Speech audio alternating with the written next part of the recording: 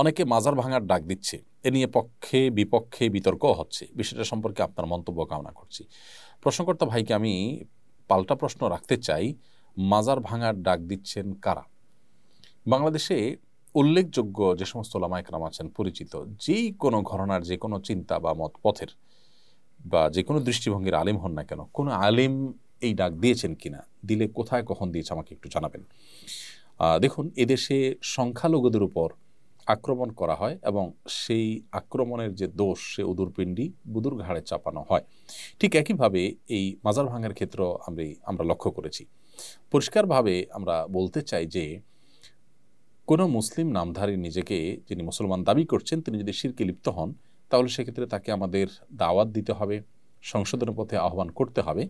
তার যে মাজার, সেটা ভেঙে যে মাজার সে সে সিজদা করছে বা যে মাজারকে তিনি পুজো করছেন অথবা সেখানে তিনি শিরকে লিপ্ত হয়েছেন, সেটাকে ভেঙে দেওয়াটাই সমাধান নয়। তাকে দাওয়াত দিবেন। আপনি বলবেন যে দাওয়াত দিয়ে বহু মাজার দাওয়াত দিয়ে লাভ হয়েছে কিনা? আমি বলব বহু মাজারের ভক্ত বা মাজারের শিরকারী মানুষকে আল্লাহ তালা হেদায়ত দিয়েছেন। আমার ব্যক্তিগতভাবে পরিচিত এরকম মানুষ আছে। আল্লাহ আমার মাধ্যমেও কিছু ভাইকে হেদায়ত দিয়েছেন বলে আমি আল্লাহ তাল্লাহ দরবারে শুক্র এবং কৃতজ্ঞতা জ্ঞাপন করছি। কিন্তু মাজার ভেঙে দেওয়ার কারণে কজন মানুষ শীত ছেড়েছে, আপনি সেটা বলতে পারবেন কিনা।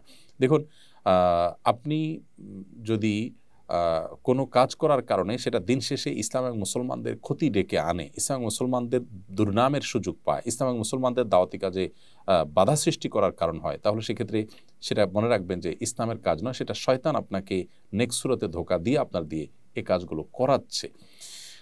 কাদিয়ানিদের মধ্যে দাওয়াতি কাজ করেন এমন একজন প্রথিতযশা আলেম আমাকে বলেছেন ব্যক্তিগতভাবে, আমার বন্ধু মানুষ মরণ আব্দুল মজিদ, ওনার নাম অনেক বই পুস্তক লিখেছেন। তিনি বলেছেন, ভাই আজকাল আমি সেখানে দাওয়াতি কাজ করাটা আমার জন্য কঠিন হয়ে গেছে এবং এটাকে রেফারেন্স হিসাবে টানা হচ্ছে। আমরা অনুগ্রহ করে সবাইকে বলব এই বিষয়ে সহনশীলতার পরিচয় দিতে এবং ওলামা একরাম আপনাদের কাউকে কাজের নির্দেশ দিয়েছেন কিনা, দিলে তার নাম বলুন।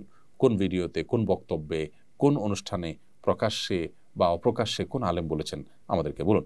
এই যে রবিউল আউ্য়াল আসছে, বারোই রবিউল আউ্য়াল, সে উপলক্ষে আমরা বলব সবাইকে সর্বোচ্চ সতর্ক থাকবার জন্য, যাতে কোনোভাবে বারোই রবিউল আউ্য়াল উপলক্ষে যে আনুষ্ঠানিকতা হয়ে থাকে, আমাদের অনেক ভাইরা যে সমস্ত জশ্নে জুলুস ইত্যাদি করে থাকেন, সেখানে কোনো মানুষ যেন আক্রমণ করার চেষ্টায় লিপ্ত না হন। আমরা অনুগ্রহ করে সবাইকে সর্বোচ্চ সহনশীল থাকার কথা বলব। যেহেতু মাজার ভাঙার প্রশ্ন আসছে, সেজন্য কয়েকদিনের মধ্যেই যেহেতু রবিউল শুরু হচ্ছে বারো রবিউল শুরু হচ্ছে, সেজন্য সে বিষয়ে আমরা সবাইকে উদাত্ত আহ্বান করছি। সর্বোচ্চ সহনশীলতার পরিচয় দিতে। মনে রাখবেন, এগুলো কোনো অবস্থাতে একজন দায়িত্বশীল মুসলিমের কাজ নয়।